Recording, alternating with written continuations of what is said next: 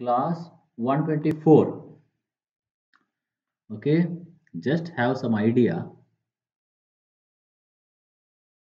Transducer says thermocouple and that is amplified here.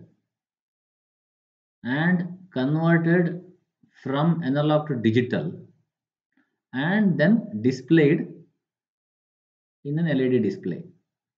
So this is the transducer signal processor consists of ADC and amplifier and recorder is an LED display. Sometimes if this has no capacity to drive the recorder, you may need an, uh, an amplifier here also.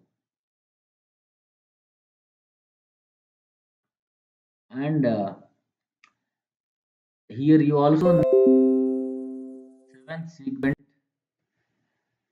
decoder.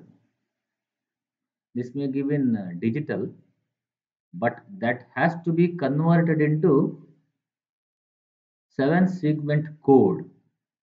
You know that. Okay. So not set in syllabus, just set an idea. Next, main functions of a measurement system indicating, recording, and controlling. You have studied indicating and recording in your measurements subject. This is regarding controlling also. Measurement system has application in controlling system.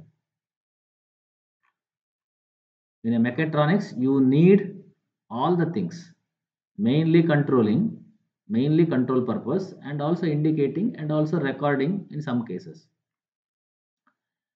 applications monitoring of a process means you see the reading and controlling.